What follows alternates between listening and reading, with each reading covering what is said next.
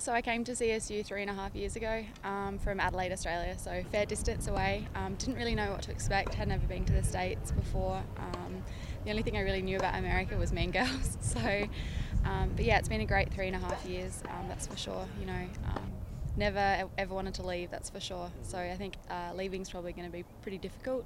You know, working with Coach Baker and the team here has just been phenomenal.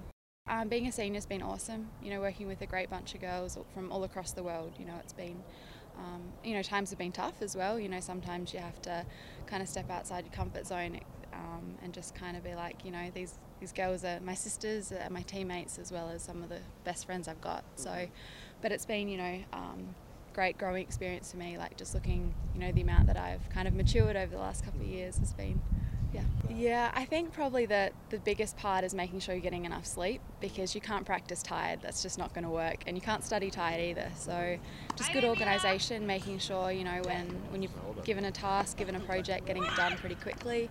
I think when you have that day off, just making sure, you know, you get all those. Uh, papers organised and stuff. I think it comes down to organisation. It's probably the biggest, the biggest problem, um, and the, and the biggest key to success. Because you know I'm a biochem major, which hasn't been easy with labs and exams every five minutes, you know. So I think just what's got me through is just good organisation and making sure that you know you don't leave it to the last minute because it's, it's not going to work.